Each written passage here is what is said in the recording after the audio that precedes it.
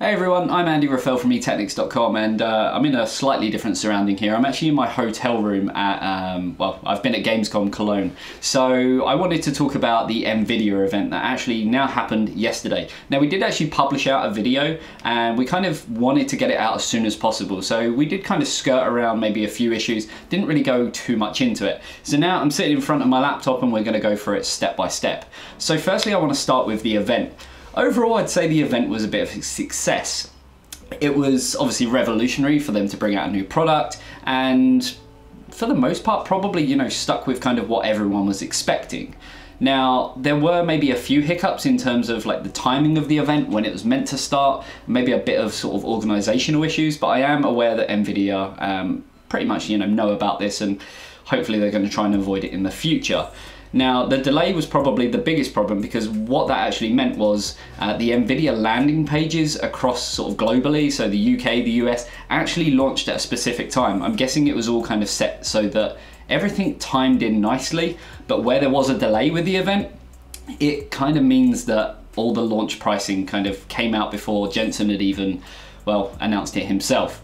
So we will get into the pricing in a little bit, but um, yeah, it's just kind of a, a, sad thing that that kind of happened. But you know, these things do happen, and sometimes it's out of uh, people's control.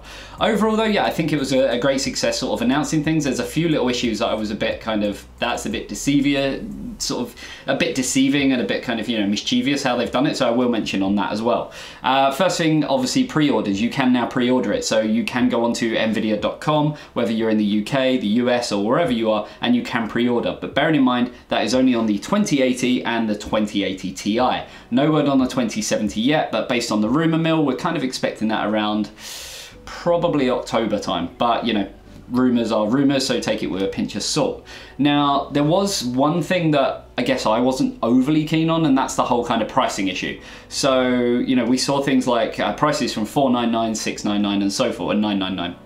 Now, that is obviously for kind of your reference models, but then you have your founders editions. And when you go onto the NVIDIA website, like I've got in front of me, I'm, uh, I'm actually seeing it, you know, on .com for the 2070 at 599, the 2080 at 799, and the 2080 Ti at uh, 1,199. These are all in dollars. In pounds, it's 569, 749, and 1,099. So I think it's a bit mischievous that they're kind of saying, you know, the price comes from this point to this point to this point, but then you can't actually buy those particular models. You're kind of forced to buy the Founders Edition. So I think maybe they could have dealt with that a little bit better um, and in a way kind of misleading the public only to a certain degree. So it's not a, a great deal because a lot of people are probably going to go out and buy the Founders Editions for um, the likes of kind of custom water cool blocks and things like that, which we will go into as well but there's also the element of most people are probably going to go out and buy an AIB, so an Asus Strix, MSI Trio X, and we will go through the EVGA stuff in a minute as well. So there are sort of, you know, um, I guess different ways to look at it depending on who you are, what you're going to be buying.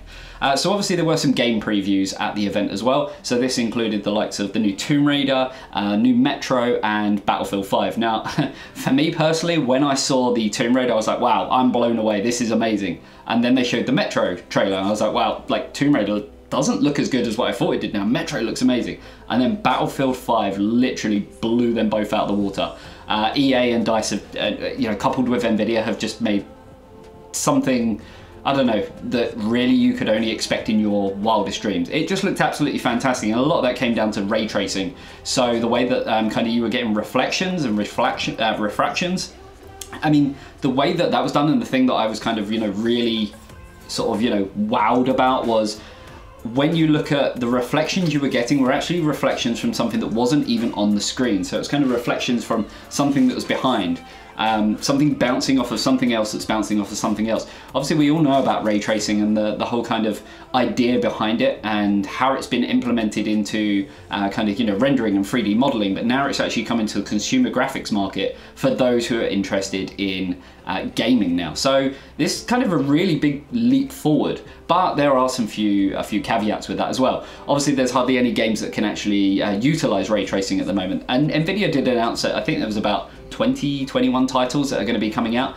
But I guess it's that whole chicken and the egg thing. You know, I mean, you can't expect people to, in terms of game developers, you can't expect them to kind of implement uh, the functionality before the functionality is there. So it's a matter of obviously this will kind of change over time and we will expect new games to come out and more games to come out that are utilizing ray, ray tracing and RTX technology, but obviously the hardware had to be there first. So there's that element of it. Um, one thing kind of sticking with the ray tracing and the RTX side of things was when Jensen announced that the 2070 performance was going to be, um, I think he either said equivalent or possibly even better than Titan XP. Um, I don't think, when he first announced it, I don't even think he said XP. I think he said versus Titan X. But then we're talking which one? Are we talking big P, little p? Which model of Titan are, are, we talking about? So I think there was some clarification after. I'm trying to remember back to yesterday when I was at the event. Obviously, there was so much going on. We were live tweeting it and sticking it on social media. I'm sure everyone followed along with that. But I still think there's a little bit of a grey area there in terms of um, I think personally, and speaking to a lot of other media as well, that the performance that's going to be better than Titan XP is with RTX. So when you take RTX away, I can't see in my eyes that a 2070 is going to be better performance than a Titan XP. So there's a big issue there, I guess, and that's going to come down to us as reviewers to essentially, you know, um, build the benchmarks, do the testing, and actually show what it's like RTX enabled, RTX disabled, and kind of see the difference between the two but that's just my initial thoughts on the matter. Um, performance in general, we didn't really get to see anything. Um, we actually went backstage after and uh, we was even told when we were trying to film some of the games that were going on, which was people playing some of the games that had been announced, uh, we was actually told not to film the screens. Um, don't know why, I don't think it was showing any performance figures, but that's what we were told by uh, some of the staff. So yeah, that made it a little bit tricky. Obviously, other than that, we didn't really see anything. It didn't say that, oh, it's X times faster than the previous gen, uh, or even compared to AMD, or anything like that. So everything is really tight-lipped. Even going around Gamescom today, we went to uh, the Case King booth where EVGA had some stuff, and they had all of their 2080 and 2080 Ti stuff, but they had a system, but it only had a 1080 Ti on it, and it was literally showing a little slideshow kind of video of um, the functionality of their new cards with their new coolers, but they wasn't allowed to put a 2080 or a 2080 Ti in that system because um, they've been basically told that, uh, yeah, they, they can't have a system on the show floor with the card in there running. If it wasn't running, I'm sure it'd be fine. But yeah, so there's there's kind of that element. Uh, before I kind of continue with the EVGA stuff, I want to talk about the leaks because I know that Jensen kind of discussed through a lot of the leak stuff and the information that was going out there. We leaked a lot. There was stuff that was uh, kind of, you know, on VideoCardz and other websites out there. And for the most part, I guess most of it was actually true. We, we kind of found out how much memory and some of the full specs of the cards and things like that. And we found out, yeah, memory, memory bandwidth, uh, and so forth. And yeah, it seems like the leaks were pretty much spot on. Obviously, initial leaks said that it was going to be called 1180 and 1180 Ti, so that was completely wrong. But again, Jensen had a little joke about that, so it was quite quite funny as a, a member of the press to kind of you know appreciate him kind of getting down to earth with it. So there was that. Uh, talking about sort of EVGA, so like I said, we went to the Case King booth at Gamescom and EVGA had some cards on show. So they had a 2080 uh, in terms of a dual fan design. They also had a 2080 with the FTW3 cooler and then they also had a 2080 Ti. Um, obviously, there's so many different models that EVGA are bringing out. From what I know, at initial launch, there's going to be at least three SKUs per GPU. So for 2080 Ti, there's going to be three. There's going to be three for 2080. So we're talking obviously dual fan, triple fan. Uh, we're talking uh, blower style design as well, because obviously they will kind of have their own blower style design for those who just want something um, that kind of does the job doesn't need the extra cooler, don't want to spend the extra money on it, that kind of thing. Maybe even for like professionals in the workstation kind of area. So there is that. Obviously, over time, we are going to see the likes of Hydro Copper, and we also also are going to see uh, Kingpin. So I know Vince at the moment is working on a Kingpin edition. Obviously, that's going to involve uh, pre-binning stuff and um, seeing how far it can be pushed yada yada yada. Uh, in terms of the hydro copper, we have been told that they have developed that from the ground up. Um, so it's not kind of, you know, like the last generation of stuff that we've seen with a lot of GPU uh, add-in board partners, where they kind of take the cooler and just strap it on. EVGA have done this in the past, and we called them out on it. Um, so I think it was the 1070 that they did it from uh, with the previous gen to 1070. So they've actually told us that they will be developing a whole new cooler from the ground up essentially for uh, for this. So hydro copper is going to be really cool. Really looking forward to that and getting this underwater.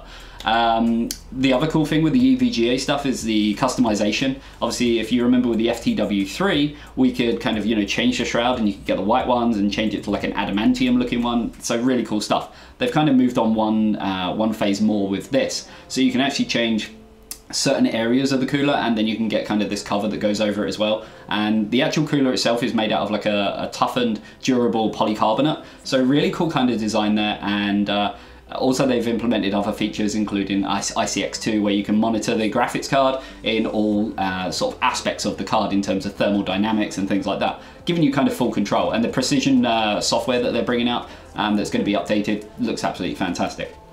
Going back to kind of water cooling, we also published some pictures earlier on today uh, where we saw uh, EK actually come in again at the Case King booth and they had uh, the nickel um, kind of, uh, I guess, clear or polycarbonate or acrylic. I, can't actually remember what they use as the clear surface, but the nickel one and also the Acetal, and they had that for 2080 and 2080 Ti. So you had kind of two different SKUs for both. And they have said that they've been basically scrambling in the last couple of days, getting these all ready, and they will be ready to kind of ship. They should have stock and everything on the 20th when the cards are available as well. Obviously these are only for reference design at the moment, but in the future we probably see um, blocks for Strix, Trio X, uh, EVGA cards and, and, so forth. And they aren't the only ones. We have seen stuff uh, leaked out now. Um, so AlphaCool uh, and Aqua Tuning, they've uh, they've got their blocks ready and they're ready, as far as I know, to pre-order as well. So lots of kind of good stuff going on there as well. Um, so lots of other companies announcing water blocks. So that's it really. I mean, I'm pretty excited about the launch. This is probably one of the most exciting launches that's kind of coming up, uh, you know, that's happened uh, in, in this kind of industry for quite some time now. is really gonna hopefully shake up the market. I mean, AMD, where do they go from here? I honestly don't know where they go from here. I'm pretty sure, I mean, in my eyes, AMD might be done. The only people that I can see who could compete with this is Intel. Now that they've got the likes of Raja Koduri and Chris Hook on their team to sort of cover, you know, for the marketing side of things, and I don't know, they, it's Intel, they have the budget for it. That's probably where AMD were lacking when it came to, you know, they bought out ATI and then they moved on like this. So if Nvidia really want to have some competition in the market, Intel might be the ones to do it. But we're going to have to wait. And apparently, based on the teaser, uh, the teaser trailer that we saw the other day, we're probably going to have to wait until 2020. And being their kind of first official stab at it um, after you know the last time, um, is it going to be the best first first time out? Probably not. Five years after that, maybe we'll have another player in the market. So there you go. Hopefully you enjoyed this video. I just wanted to go a little bit more into detail, show off uh, obviously some of the stuff that we saw today. And we have got full videos of this stuff as well. So we've got a full video where I was at the EVGA side of things at the Case King booth. And then another video uh, where we kind of, you know, looked more into the EK stuff. We have also got essentially, I guess, a full booth tour of, uh, of Case King, and uh, you can see that in another video as well. So please check all them out, and obviously there is a lot more coverage from Gamescom in Cologne 2018. So yeah, hopefully you enjoyed the video, you know what to do. Comment below, are you gonna be getting one of these cards? Are you gonna custom loop it with, a, with a custom water block? Let us know. Hit that uh, like button, and uh, I'll see you in the next video. See you later.